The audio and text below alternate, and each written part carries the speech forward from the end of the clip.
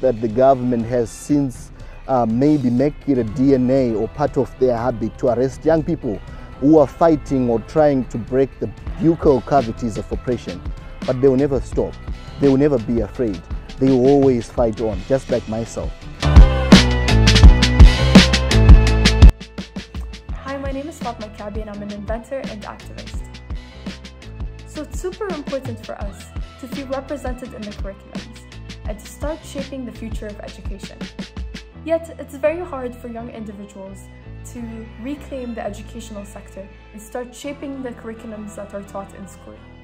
So instead, we started educating each other through social media by creating fun infographics and fun posts that everyone can read and has access to. By that, we're learning information from each other and hearing other people's experiences and making sure everyone is seen and heard and because it's so special to be able to share your own story and have other people relate to it. And that's what you get when you have young individuals on social media. So although we're not able to shape the curriculums, we still found ways to teach each other because education is not limited only to classrooms.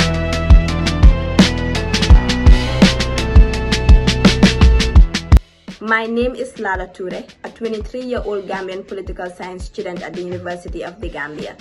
I am currently the Gambian representative to the Commonwealth Youth Council and equally an alumni of a Fawegam Gambian chapter. Um, there is a dire need for governments to prioritize education financing during the formulation, planning, and implementation stages of all state annual budgets.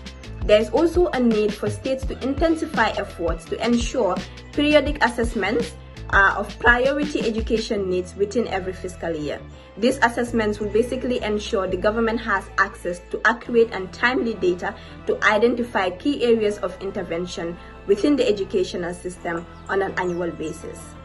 All of this will ensure an enhanced educational systems and will also ensure people have life-changing experiences with education, giving them the chance to subsequently contribute to the vibrant socio-economic and political development of their various nations.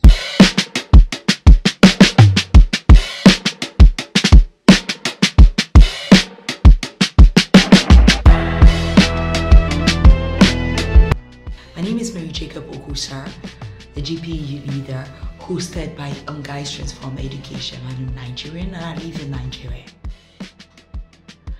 I was once told that leadership is making changes and making efforts that outlive even your own life.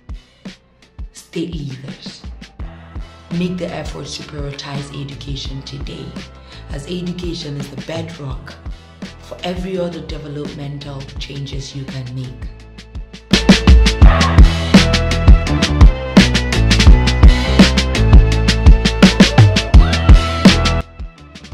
Bonjour à tous, je suis Geneviève Ngodjon, enseignante syndicaliste camerounaise vivant dans la région du littoral du Cameroun.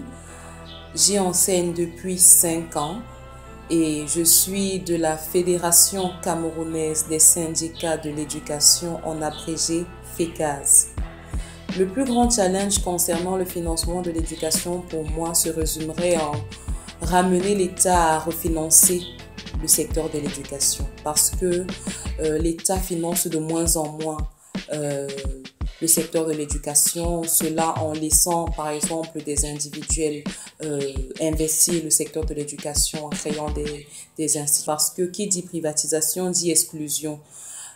Une certaine tranche de la population ne pourra pas avoir accès si euh, un établissement a des frais très chers, une famille moins nantie ou des familles qui n'ont pas suffisamment euh, des revenus euh, ne pourront pas avoir euh, des frais.